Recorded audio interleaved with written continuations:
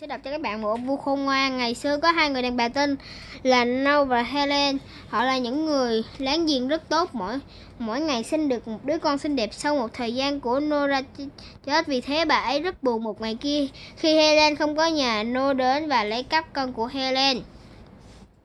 Helen Helen trở về nhà mà, và không tìm thấy con. Bà biết rằng Nora đã lấy đi con của mình. Vì vậy Bà đến gặp Nô và nói Nô, xin chị trả lại con cho tôi. Nô trả lời đây là con của tôi không phải con của chị. Rồi Helen nói Nhưng con của chị đã chết mà. Đây là con của tôi. Nô ra trở lên tức giận và quát tháo Helen Con của chị đã chết Đây là con của tôi. Chị hãy cút đi. Họ cãi nhau và quyết định gặp vua Arwen Ngài là một vị vua rất khôn ngoan.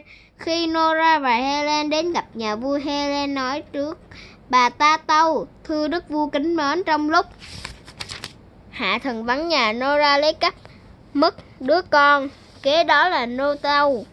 Thưa đức vua kính mến đây là con của hạ thần. Con của Helen đã chết và bà ấy muốn giành con của hạ thần. Helen khóc và nói, thưa đức vua, con của nó chết rồi. Còn đứa bé này là con của hạ thần ạ à. vua Eren suy nghĩ trong ít phút.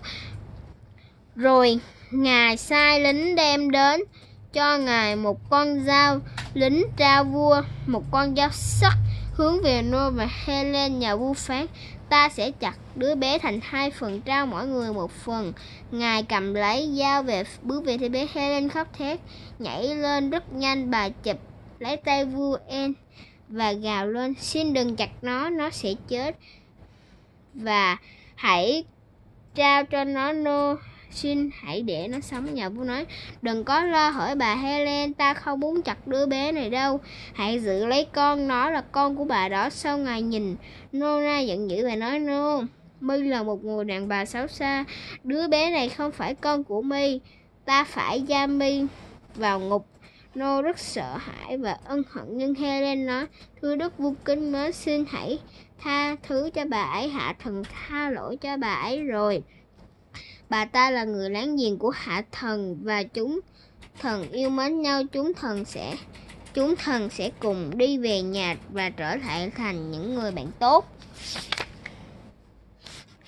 Mình đã đọc xong một câu chuyện rồi nha các bạn. Mình đã đọc xong một câu chuyện rồi. Bây giờ à, tục ngữ của cái này là là không trộn cắp bất cứ cái gì cả. Dù dù người ta có cái đẹp hay có cái xinh á, thì ờ, thì mình phải mua chứ không được trộn cắp. Nếu như trộn cắp là sẽ một thành thói quen xấu. Nha các bạn.